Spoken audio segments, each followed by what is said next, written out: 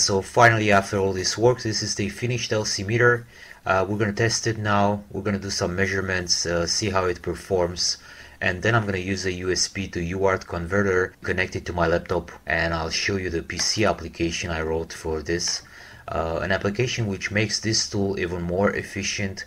I've implemented a function which helps to catalog parts very helpful when you have to do uh, a lot of measurements and you want to hold the values uh, maybe save them in a spreadsheet and export it. Uh, you'll see that in a second.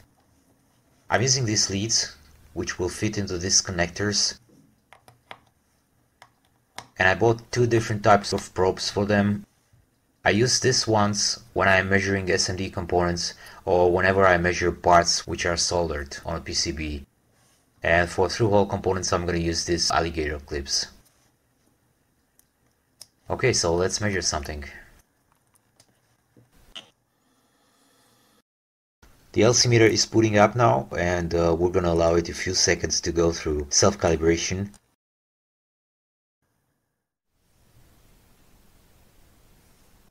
I'm going to start with this electrolytic capacitor. This is a 0.47 microfarads each time I do a measurement, there's going to be a close-up image of the part uh, appearing in a corner.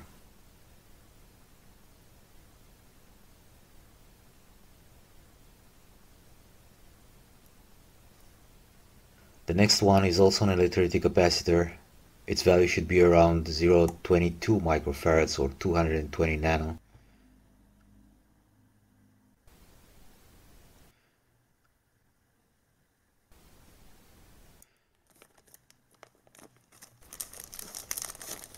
Okay, next part is also a capacitor. I can't decipher the label on the plastic bag, but uh, the marking says 681, so I guess it should be uh, 680 picofarads.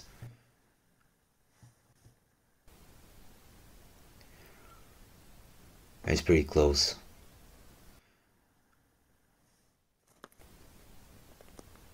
This is a 2.2 picofarads. Let's see how it goes. Please keep in mind this is such a low capacitance. Uh, these probes I'm using are also adding a little bit of capacitance. For such low values, it would be better to remove the leads and just place the part in the female connectors. Uh, keep everything as short as possible.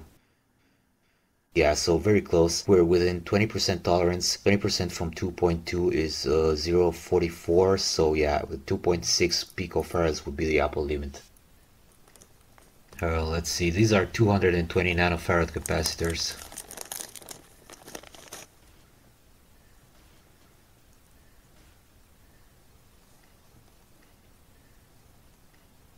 Yeah, and you can see the battery low symbol is flashing.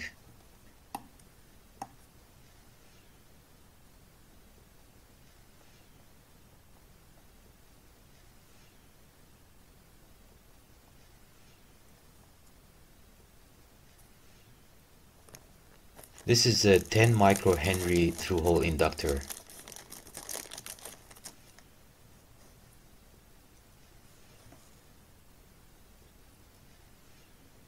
The silver ring means 10% tolerance.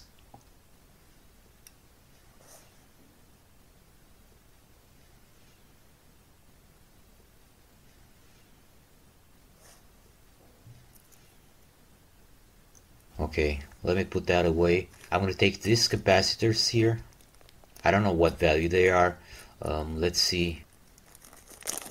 So as I was telling you through hole packages, uh, you can read the markings. This one here should be uh, 220 picofarads. If this was an SMD package, uh, ceramic capacitors don't have any markings on SMD packages. So there would be no way to identify this part other than measure it. 200 picofarads.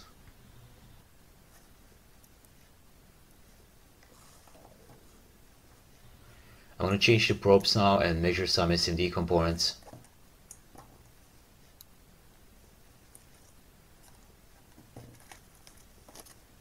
This ones I labeled just before the video 100 microhenry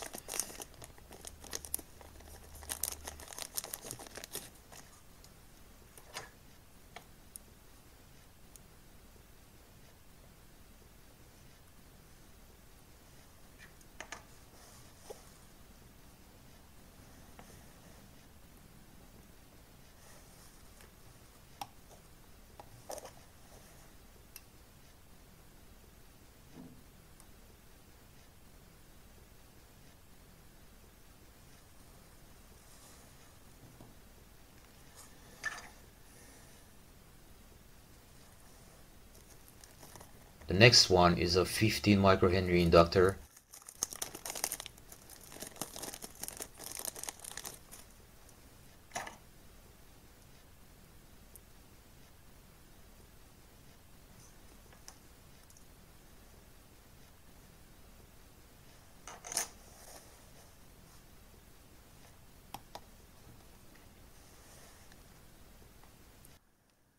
Make sure you're not touching any exposed terminals or the tips of the probes while measuring.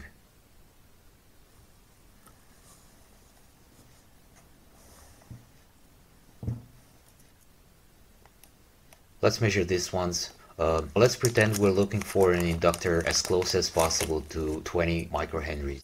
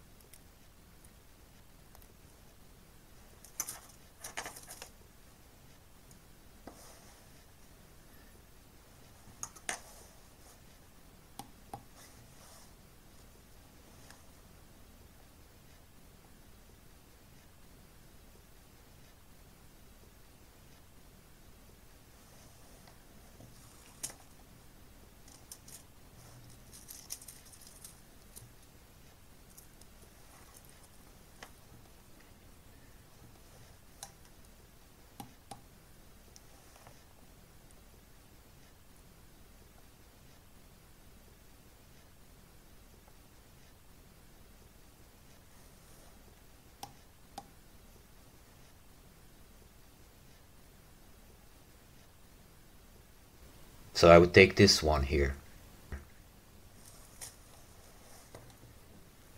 This is a bigger inductor, it should read 1 millihenry or 1000 microhenry.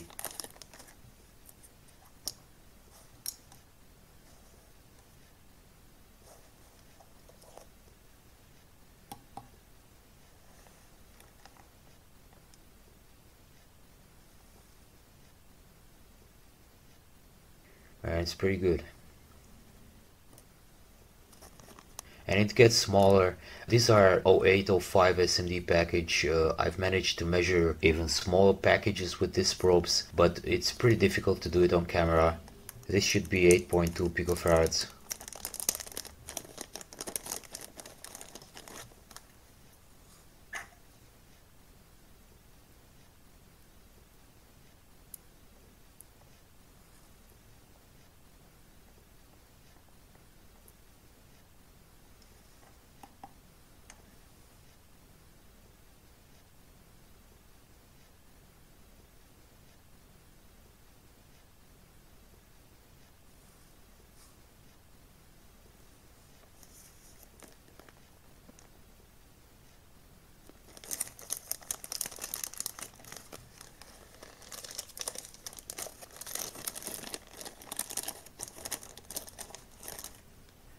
And finally, the last thing I'm going to measure, uh, 56 nanofarads.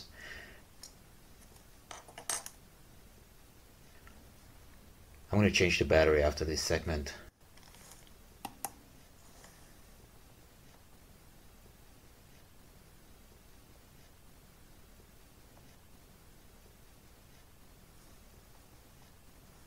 And we're going to close this video series with the PC application for the LC meter.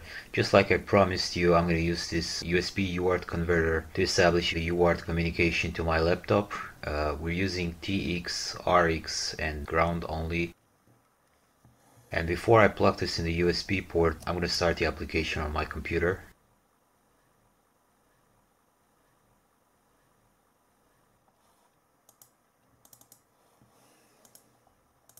Basically, I kept everything to a minimum, uh, just a simple interface. There's a how-to button which opens an information window. Here we have the port settings for the UART communication. And if I click here, it will scan for connected devices. I don't have anything on COM ports yet. Um, as soon as I plug the USB connector, the assigned COM port will be discovered and it will show up here.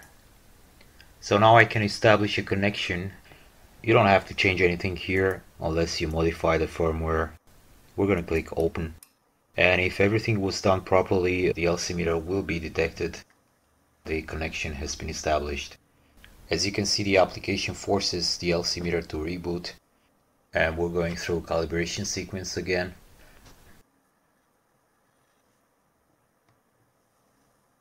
Alright, so I'm going to use these parts for this test.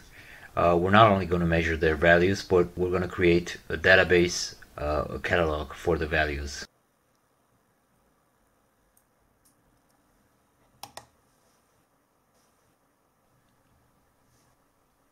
And it measures the value of this inductance, 9.7 microhenries.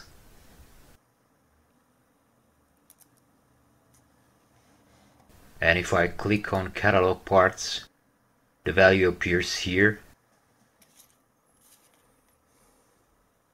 I'm gonna speed up the video a little bit and measure all the components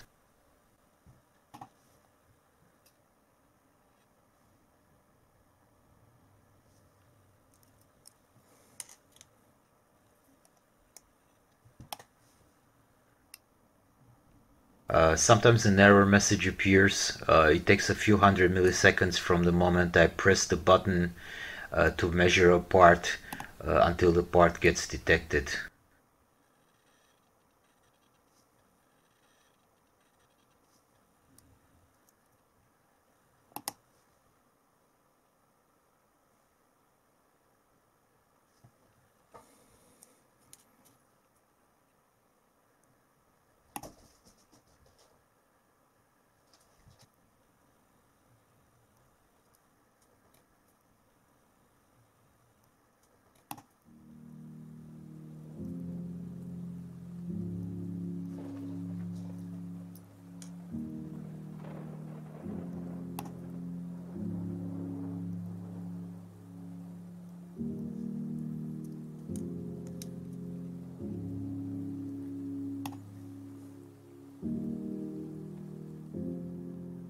This is the last one. So we have six capacitors and three inductors.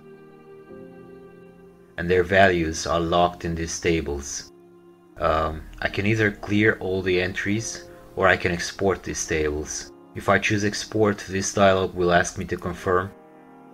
And a text file will be created. You can find it uh, in the root of the application. The name of this file contains the date and time when it was created and as you can see here uh, we exported the measured values. And basically you can use this to create labels or build a database for your components. Oh and one more thing this section here contains a log of the UART communication. And this can also be exported uh, if you want to inspect it later uh, for debug purposes. The log is also saved as plain text. Uh, for instance here when we measured the 49 nanofarad capacitor uh, this was the F3 frequency 92 point something kilohertz. Or here for this inductor F4 was 437079 hertz. You can use these values if you want to manually uh, solve those equations 5 and 6 I believe uh, to double check everything. And here are the measured parts uh, mission accomplished. Thanks for watching this series. Give it a thumbs up if you liked it. And don't forget to leave a comment. Uh, I'm interested to know which part of the series, of the designing process you like the most. Like I said in the beginning, I'm giving away 3 copies of the LC Meters PCB. One month after this part gets uploaded, I will pick the winners from the comment sections of the series. Don't forget to subscribe and I'll see you on the next one.